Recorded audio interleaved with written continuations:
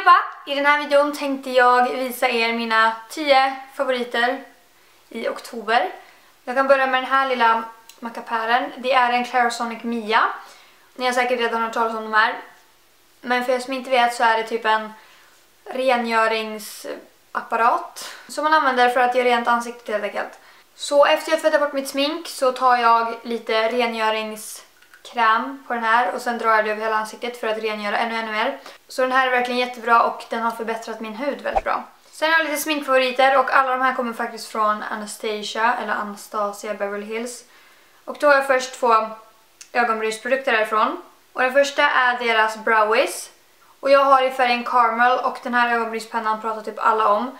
Um, den har en sån här liten borste på ena sidan så man kan borsta ut ögonbrynen. Och sen har den en penna, en krämig penna på andra sidan. Och jag älskar den här för att fylla i mina ögonbryn. Det här är min andra tub av den här. Eh, och jag älskar den lika mycket den här gången. Den är så himla grym och jag typ tror inte att jag någonsin kommer sluta använda den här. För den slår verkligen alla ögonbrynspennor jag någonsin har provat. Och sen har jag en till ögonbrynsprodukt som jag använder ovanpå pennan. Och den är också då från Anastasia och det är deras Dip Brow Pomade i färgen blond. Och det är typ en gelé eller gelmousse, jag vet inte riktigt vad man kallar det.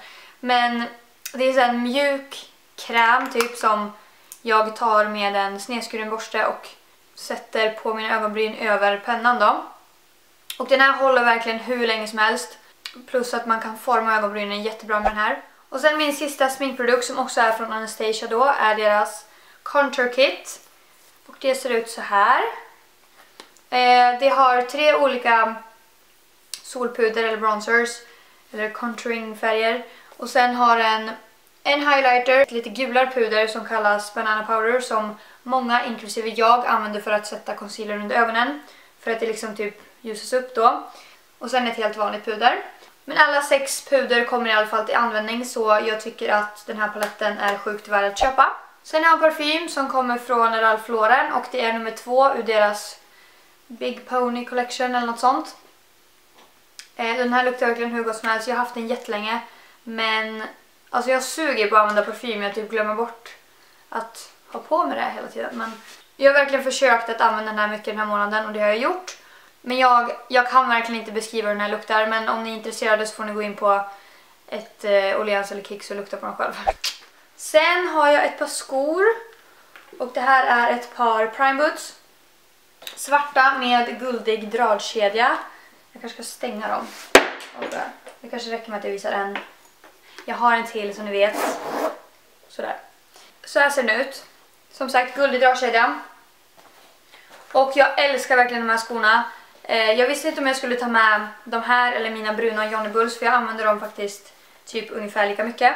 Men jag valde i alla fall att ta mina Prime Boots för att jag älskar de här grymt mycket och jag har använt dem hur mycket som helst de senaste månaderna.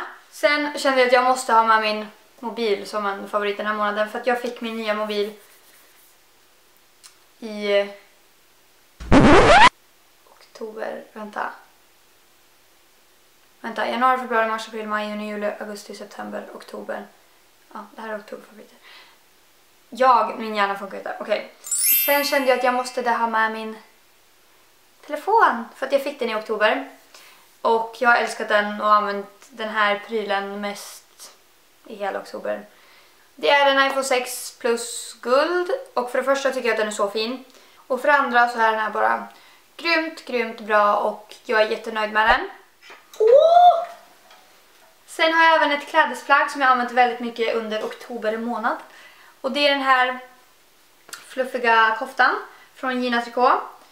Eh, jag älskar den här så mycket. Den var inte alls så dyr och den är verkligen hur fin som helst. Den går att matcha med massa olika outfits.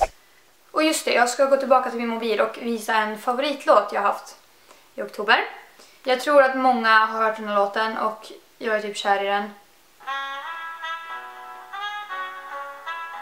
Och just det, det blir copyright, jag får spola till refrängen.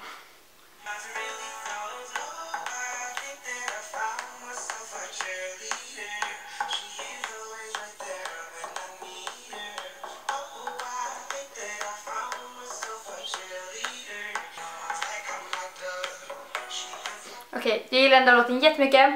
Och låten heter då Cheerleader och är av Omi, OMI. Och jag lyssnar typ på en remix av Felix Jag igen. Och sen min sista favorit I think. Har vi, är det här tionde saken? Hoppas det. Eh, det är i alla fall ett datafodral, trodde jag att det var, från Mark by Mark Jacobs som jag köpte i USA. Inne på Nordstrom. Eh, jag köpte som sagt den här för att jag trodde att min Macbook skulle få plats här.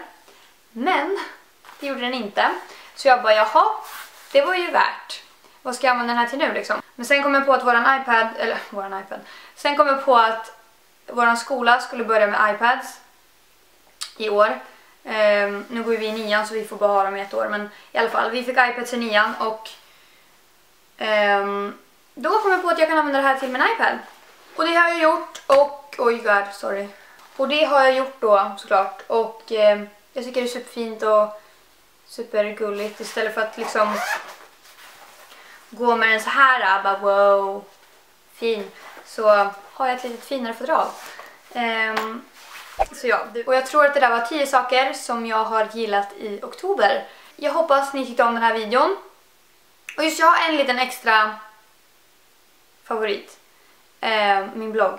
Alltså inte min blogg, min, alltså min egen blogg är inte min favorit men jag har gillat att blogga den här månaden. Jag har bloggat jättemycket den här månaden. Så jag tycker att ni ska kika in min blogg, linalbo.se. Men det var typ allt, så ni får ha det så jätte, jättebra. Så hörs vi. Hejdå!